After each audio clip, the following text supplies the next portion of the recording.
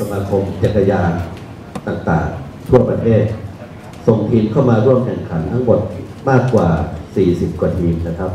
แล้วก็มีในระดับนานาชาติด้วย เพราะฉะนั้นเส้นทางที่ใช้ในการแข่งขันครั้งนี้เท่าที่ดูนะครับ